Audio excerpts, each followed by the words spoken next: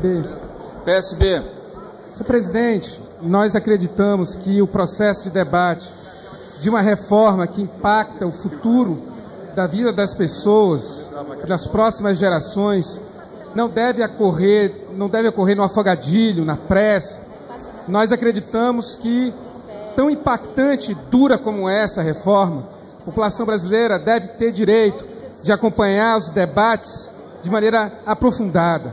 Então, nós apoiamos o requerimento de votação parcelada porque acreditamos que é um direito da sociedade se informar.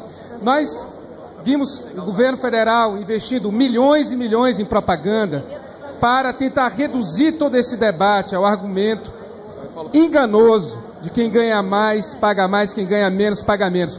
O argumento, na verdade, é a população que mais precisa vai trabalhar muito mais para ganhar muito menos. Então, apoiamos o requerimento de votação parcelada.